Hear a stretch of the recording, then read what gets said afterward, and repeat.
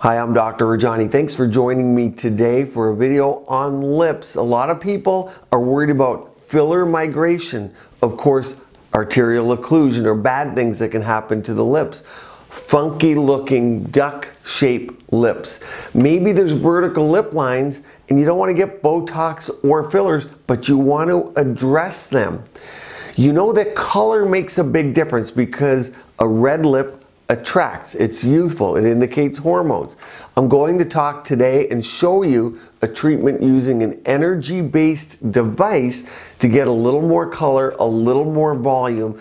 There's no filler, there's no Botox, there's not even any injections. And yes, it works very well. I'm going to show you some before and afters in an example, but you can see it while the patient's on the table getting the treatment. I know from my uh, videos that I've done on filler migration and the complications of fillers, many people understand the lip is important to balance the face and vertical lip lines are aging. There's no need to have them. It's a choice. There's things that can be done. Let's go to this video. I'll narrate it. Watch the procedure. Many of you have home devices, energy devices. Ask about them in the comments below. I'll talk about this device as we go so you know some of the energy levels we might be using. If you like these videos, hit that like button now, subscribe, and I'll bring you more videos just like this and videos to show you how to keep your skin beautiful and vibrant. So what we're doing here first is we're adding gauze that keeps it safe. This is bipolar RF, radio frequency.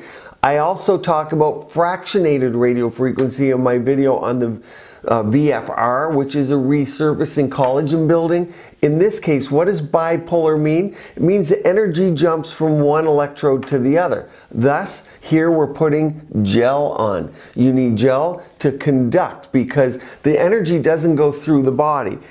And if it goes through the body, it's less controlled. Now, the reason we can treat the lips by putting the gel on is that energy jumps from one electrode to the other within the device and that means we can control the depth. So on this device, it's a level three we use. That's superficial. The first pass is going to be below the red of the lip. The second pass is going to be on where the red meets the white. We don't have to go inside the mouth, but on the region where there is the vermilion. Vermilion is the term for red and that will help build the collagen. Now, if the energy went too deep, it's not going to do enough. It's not going to do anything because the lip is mainly muscle and we want to get to the fat layer and the skin layer. Here, the upper lip is important because that's where the vertical lip lines or the barcode lip occurs. Why not plump the lip, get more color, and help vertical lip lines. This patient's a skin type 2 to 3. Light colored skin is going to develop vertical lip lines and they are aging. Here we're doing, we did our first pass. I usually recommend two passes in total. The energy level, because a lot of people are going, going to want to know, I start around 40 and we aim for above 60. So a lot of people will get to 80. That's all you're going to need. And when you do do your second pass, yes, cross hatch it. The two electrodes going one way, and then you go opposed the other way.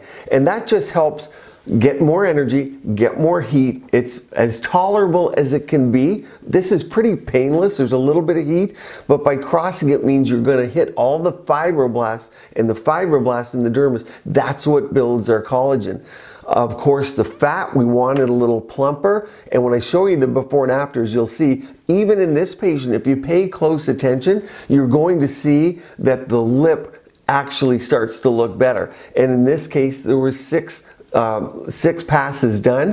When patients have had it done before, you can be a little more aggressive. Sometimes, of course, if there's lip filler, as you know from my videos on dissolving lip filler, I'm not worried about dissolving it. We're not hitting those temperatures. We're not at ablative temperatures. Even ablative temperatures, won't melt the fillers that I actually use.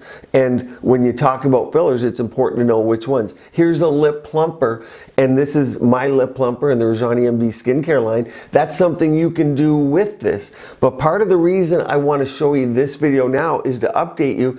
I'm going to be also doing a video of Plump RF, watch for it, and I'm going to use the new Dermafuse treatment where we're actually infusing collagen building products using electrical energy before we and after we do the Plump RF treatment. Here's an example of a before and after from the device and you can see there's more lip, it's a little more pink, and you can see the fine lines on the lip are gone away. They go. So it smooths the surface of the lip as well. Why? Because we're building collagen.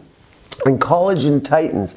So I wanted to gear you up by refreshing your memory on this plump RF and the fact that energy can be used. A lot of people discount and forget that energy be, can be used in the lips if you don't want Botox or lip fillers. If you are interested in lip fillers and Botox, I put a complete playlist up here on lip fillers. You can watch those being done. And if you like uh, the all natural result, and you like this, you can also couple it with what I call plasma lip or platelet rich fibrin. And I have videos on those and you can watch that playlist. Stay tuned, keep your skin and body beautiful, healthy, and vibrant.